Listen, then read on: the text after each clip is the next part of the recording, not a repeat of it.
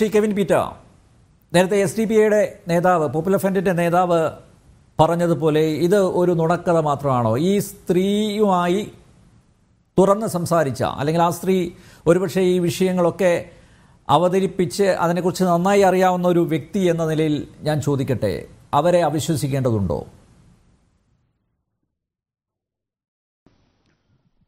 ശ്രീ അനിൽ നമ്പ്യാർ ശരിക്കും കേരളം ചോദിക്കാനും പറയാനും ആരുമില്ലാത്തതുപോലെ ഇസ്ലാമിക തീവ്രവാദത്തിന് അടിമപ്പെട്ടുകൊണ്ടിരിക്കുകയാണ് ലവ് ജിഹാദിന്റെ കെണിയിൽപ്പെട്ട്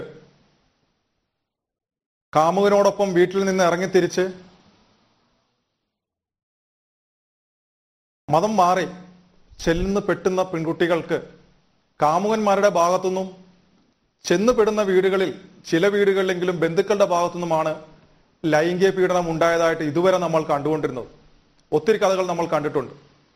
പക്ഷേ വേലി തന്നെ വിളവ് തിന്നുന്നു. ഇസ്ലാമിലേക്ക് അവരെ ആനയിക്കുകയാണ്. അവരെ ഇസ്ലാമിലേക്ക് കടത്തിക്കൊണ്ടുവരാനുള്ള പ്രാഥമിക കാര്യങ്ങളാണ് മതപഠനമാണ് കൊടുക്കുന്നത്. ഇസ്ലാമിൽ സ്ത്രീക്ക് പരിപൂർണ സംരക്ഷണം എന്ന ആ കള്ളത്തരം ആ പാവങ്ങളെ വിശ്വസിപ്പിച്ചുകൊണ്ട് ഇസ്ലാമിലേക്ക് കടന്നു വരുവാനായിട്ട് മതം പഠിക്കാനായിട്ട് കൊണ്ടുവന്നിട്ടാണ് ഈ പരിപാടി കാണിക്കുന്നത്.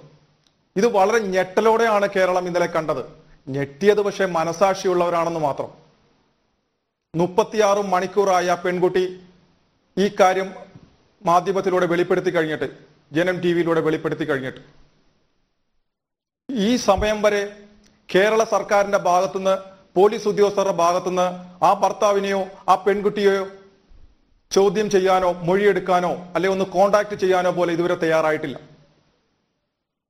ഇപ്പൊ ബാബുജി സൂചി കാണിച്ചതുപോലെ ഇപ്പോഴും പാലാ ബിഷപ്പിനെ പൂജപ്പുര ജയിലിലേക്ക് വിടുമോ എന്നുള്ള ചർച്ച നടത്തിക്കൊണ്ടിരിക്കുകയാണ് ഇവിടുത്തെ പ്രധാനപ്പെട്ട മാധ്യമങ്ങൾ.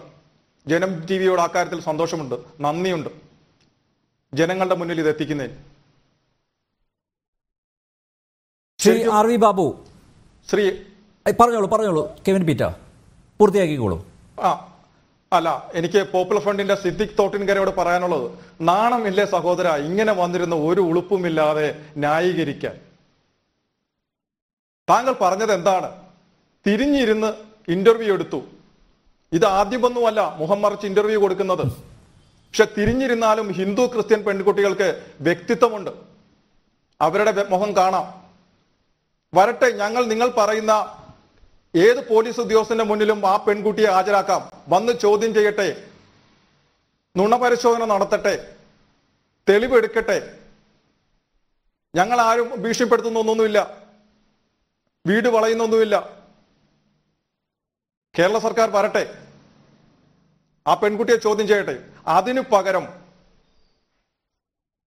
റോഡിൽ നിന്നുകൊണ്ട് ആയിരത്തി തൊള്ളായിരത്തി ഇരുപത്തി ഒന്ന് ആവർത്തിക്കുമെന്നും പൂജ എടുക്കാൻ പോലും കർമ്മം ചെയ്യാൻ പോലും വീട്ടിൽ ആളെ ബാക്കി വെക്കത്തില്ലെന്നുള്ള കൊലവിളി പ്രസംഗം നടത്തുന്ന രാഷ്ട്രീയ പ്രസ്ഥാനത്തിന്റെ ആളുകൾ വന്നിരുന്നുകൊണ്ട് പ്രതിരോധം അപരാധമല്ല എന്ന മുദ്രാവാക്യം ഉയർത്തുന്ന നിങ്ങൾ വന്നിരുന്നുകൊണ്ട് ഒരു ഫേസ്ബുക്ക് പോസ്റ്റിന്റെ പേര് പറഞ്ഞിട്ട് ചർച്ചയെ വഴിതിരിച്ചു വിടാൻ ശ്രമിക്കില്ലേ സഹോദര? ഇതെല്ലാം ഇവിടെ ജനങ്ങൾ കണ്ടുകൊണ്ടിരിക്കുകയാണ്. ഒരു പെൺകുട്ടി പീഡിപ്പിക്കപ്പെട്ട ഉസ്താദിന്റെ പേര് സഹിതം പറഞ്ഞു കഴിഞ്ഞു. ഇതിൽ കൂടുതൽ എന്ത് തെളിവ് വേണം? അപ്പോൾ പഠിക്കാൻ പോയ സ്ഥലത്തെക്കുറിച്ച് പറഞ്ഞു കഴിഞ്ഞു. ആ സ്ഥലം ആരുടെയാണ്? തർബിയത്തുൽ ഇസ്ലാം സെന്ററിന്റെ പ്രസിഡന്റ് ആരാണ്? തർബിയത്തുൽ ഇസ്ലാം സഭയുടെ ഫേസ്ബുക്ക് പോസ്റ്റിൽ ഫേസ്ബുക്ക് പേജിൽ ഇൻട്രൊഡക്ഷൻ വീഡിയോയിൽ കൃത്യമായിട്ട് പറയുന്നുണ്ട് അതിന്റെ പ്രസിഡന്റ് ആരാണെന്ന്. മുന സെയ്ദ് മുനവർ അലി ഷിഹാബ് തങ്ങളാണ് അതിന്റെ പ്രസിഡന്റ്. അദ്ദേഹം ഈ സമയം വരെ വാതുറന്നിട്ടുണ്ടോ? പറയണം മറുപടി പറയണം. ഒരു പള്ളിയുടെ അകത്ത് സ്വന്തം ജനത്തോട് സ്വകാര്യമായി ആ സ്വന്തം മക്കൾക്ക് സ്വന്തം പെൺകുട്ടികൾക്ക് ഒരു അവയർനെസ് കൊടുത്തതിന്റെ പേരിൽ പാലാ ബിഷപ്പിനെതിരെ കേസ് എടുക്കാമെങ്കിൽ മുനവർലി ശിഹാബ് തങ്ങൾക്കെതിരെ കേസെടുക്കണം. ഇല്ലെങ്കിൽ അദ്ദേഹം മറുപടി പറയണം. അദ്ദേഹം പ്രസിഡന്റ് ആയിരിക്കുന്ന സ്ഥാപനത്തിനുള്ളിലാണ് ഈ ലൈംഗിക പീഡനം നടന്നിരിക്കുന്നത്. കൊച്ചു പിള്ളേരെങ്കിലും വെറുതെ വിട്ടുകൂടെ? അവരും നിങ്ങളെ ഇസ്ലാമിലേക്ക് കൊണ്ടുവന്നിരിക്കുകയല്ലേ? നാളെ അവരും വളർന്ന് വലുതാകാനുള്ളതല്ലേ? ആ പിള്ളേരെങ്കിലും വെറുതെ വിട്ടോ? എന്നിട്ട് വന്നിരുന്ന് ന്യായീകരിക്കുന്നു. തെറ്റിനെ തെറ്റെന്ന് തന്നെ പറയണം സഹോദര.